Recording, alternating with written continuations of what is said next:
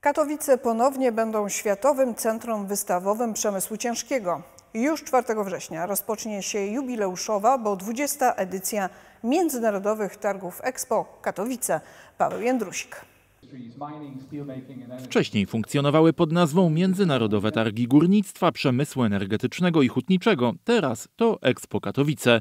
To właśnie w Międzynarodowym Centrum Kongresowym będzie można zobaczyć najnowocześniejsze urządzenia dedykowane branży górniczej i energetycznej. Bardzo ważne wydarzenie dla całej branży i bardzo cieszymy się, że na dalej bardzo wysokim poziomie udaje się utrzymać skalę organizacji tego wydarzenia. Wydarzenie, drodzy Państwo, ma charakter e, absolutnie międzynarodowy, co również jest dla nas bardzo istotne. Mamy y, y, forum polsko-indyjskie, więc to jest też wydarzenie międzynarodowe. Y, mm, W pierwszy i drugi dzień będzie się to odbywało.